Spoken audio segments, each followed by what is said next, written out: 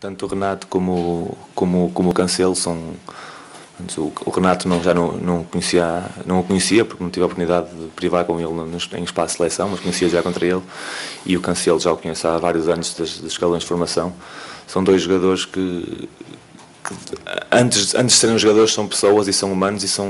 dois grandes seres humanos, porque chegaram aqui a este espaço depois de terem estado na, na equipa A e foram, tiveram um comportamento excelente e, e, por isso acho que antes de, antes de, de entrar no campo de, no campo literalmente acho que mesmo no grupo tiveram um impacto muito forte porque nós olhamos para eles antes como referências porque já estavam lá e, e olhando para eles a, a, sua forma de estar, a sua forma de ser, a forma como, como trabalham depois de estar lá em cima e voltar e dar, dar um, não é um passo atrás, mas mas voltar a, a um espaço sub-21 onde já o Cancelo já tinha estado, o Renato por acaso não, acho que, que é um motivo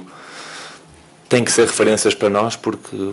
porque de facto são, são um exemplo, são um exemplo por aquilo que, que estão a conseguir fazer e, e acho que isso é importante e de certeza que, que nos vão ajudar.